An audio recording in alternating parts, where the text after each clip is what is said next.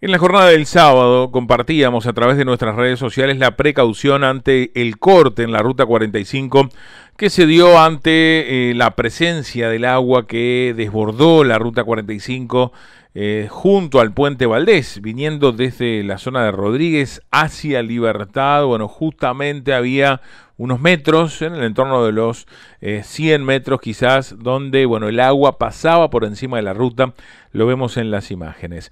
Pero además eh, generó gran preocupación en vecinos, bueno, todo lo relacionado a la obra, ¿no? A la obra que se realizó del trasvase desde el río San José hasta el río Santa Lucía en la zona de Velastiquí.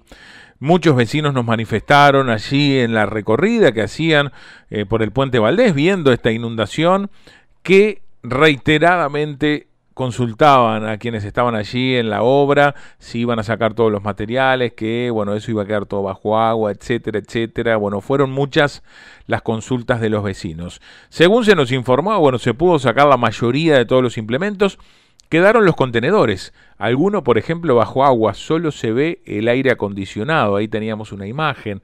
Otro contenedor que fue arrastrado por el agua, se ve allá dentro de la vegetación, también compartíamos la imagen.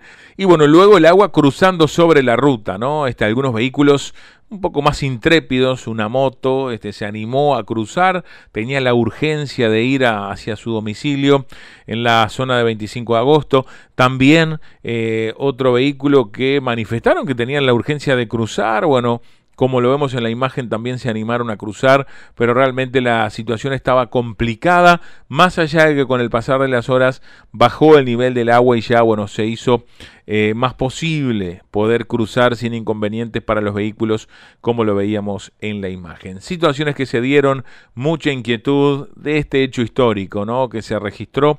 Una vez más el agua tocó el puente como pocas veces ha sucedido en la historia y bueno, muchos curiosos llegaron a mirar, llegaron a este, ver de primera mano, más allá de lo que nosotros habíamos difundido, imágenes y demás, bueno, esta situación que se dio en el río San José.